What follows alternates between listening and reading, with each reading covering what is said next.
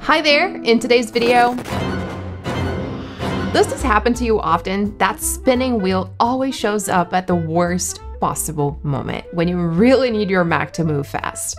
Here are 6 quick fixes to make your Mac faster.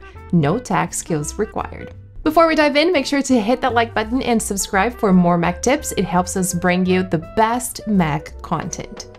Okay, think back to those times when you had a lot on your plate errands, work, an ever growing to do list. You probably just wanted to slow down for a moment.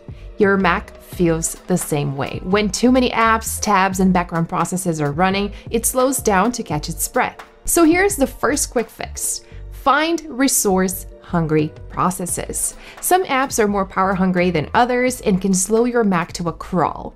To see which apps are eating up your system resources, use Activity Monitor. To find it, open Finder, go to your Applications folder, Utilities, and then double-click Activity Monitor. If your Mac's running slowly, pay attention to the CPU section. It shows how processes affect CPU, aka processor activity. Apps that use most CPU power will be at the top of the list. Next, check out the Memory tab. It shows how much memory each app or process is using. At the bottom, you see a memory pressure graph. This gives you a quick snapshot of how well your Mac is handling memory. If it's green, it's good, but if it turns yellow or red, that means your Mac is running low on RAM. In that case, close the apps at the top of the list, especially the ones you're not actively using. Now here's a trick your Mac will thank you for. One thing that can seriously slow down your Mac is unneeded cache files. They're temporary bits of data meant to speed things up, but over time they build up and start taking way too much space. Instead of helping, they end up slowing your Mac down.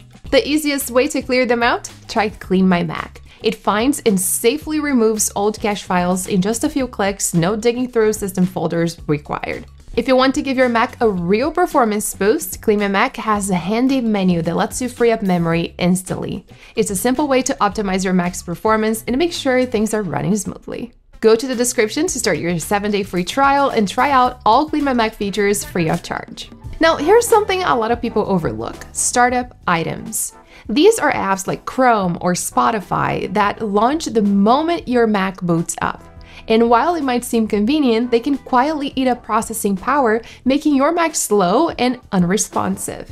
To solve this, go to System Settings, General, click Login Items and Extensions, review the list of apps that open at login, and turn off unneeded ones.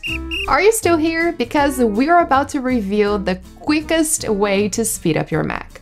Closing browser tabs might sound too simple to matter, but you'd be surprised how much they can slow things down. Each open tab is like a mini app running in the background using up RAM and other system resources. So close those unneeded tabs. If you want to come back to them later, just bookmark the pages or add them to your reading list. Want to take it a step further? In Safari, you can actually set tabs to close automatically after a certain time.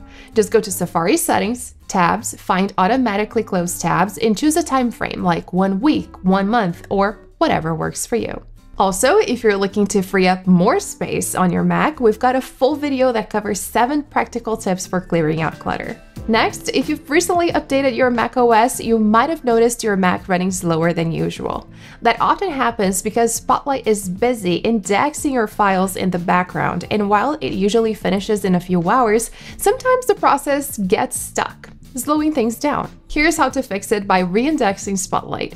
Go to System Settings, Spotlight, click Search Privacy at the bottom, drag your disk such as Macintosh HD or a folder from Finder into the privacy list, wait a few seconds and then remove it by clicking the minus button. That'll force Spotlight to start fresh and your Mac should feel faster again. And last but not least, keeping your software up to date is one of the easiest ways to help your Mac run faster. To check your macOS version, click the Apple icon in the top left corner of the screen and select About this Mac. Make sure you're running the latest version available. And don't forget about your apps. Outdated apps can slow things down too. If updating them one by one sounds like a headache, try the Applications feature in Clean My Mac. It lets you update, uninstall, and manage all your apps in one place, which is super convenient if you have a lot of apps like I do. Don't forget to like this video and subscribe for more Mac tips. Thanks for watching, and see you next time.